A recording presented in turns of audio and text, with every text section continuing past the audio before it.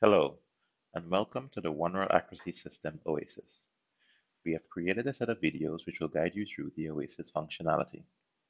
In this video, I will show you how to complete your registration for new EQA programs that do not require assays to be registered. For assistance with registration for a program that uses assays, please see your video, Registration for Programs with Assays. Once you have logged into your OASYS account, click on the Test Event Dashboard icon.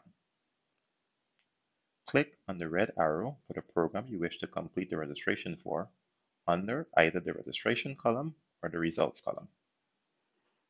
The location of the arrow will depend on the time period you are logging in in relation to the test event.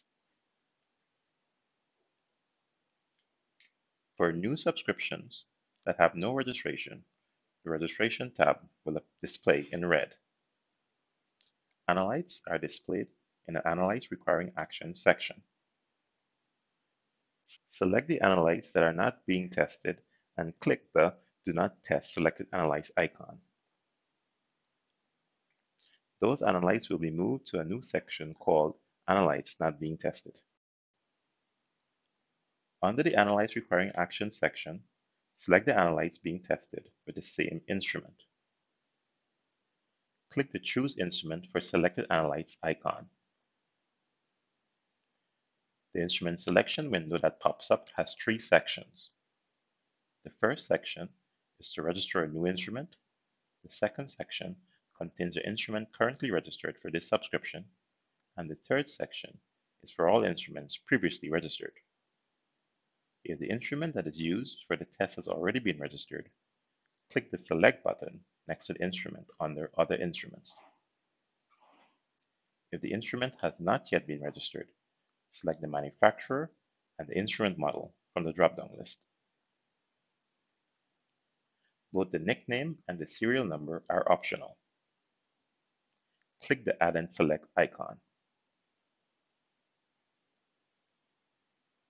If the instrument manufacturer or model number does not appear in the list, select the manufacturer not listed or model not listed. Enter the manufacturer and the instrument model information. Do not forget to upload the instruction for use document. Click the Submit icon to submit your request.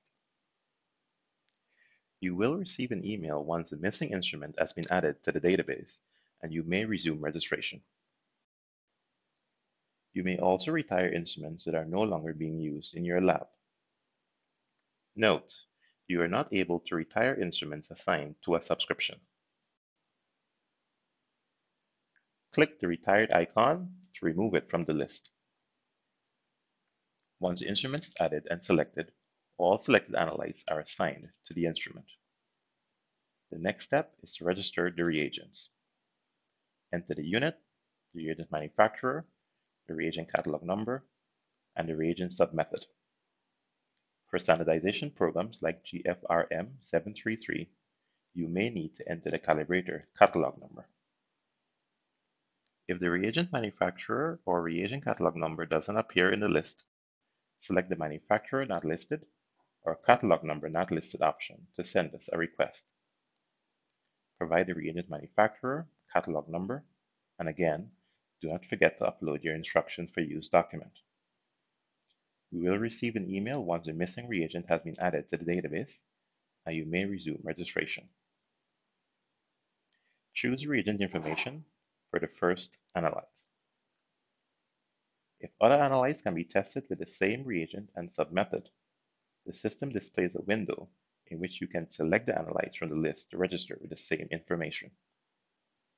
You may select all or some of the analytes listed as those to be tested with the same reagent. Click on Submit. If the Analytes Requiring Action section is still in red, click on the down arrow to expand the list. Select the analytes in red and click on Choose Instrument for selected analytes and select an instrument. Otherwise, click on the Do Not Test Selected Analytes icon. If the registration is not complete, the Registration tab remains red. Check the instruments and analytes to confirm all mandatory information has been added. Once the registration is complete for all analytes and instruments, the registration tab turns blue. The registration is now complete. Click Exit. A message will appear. Read the message and respond to it. For additional assistance, we invite you to view our other support videos in our support center. Thank you for watching and we hope that you found this video helpful. We appreciate any feedback you may have on our videos. Please email us at support at oneworldaccuracy.com.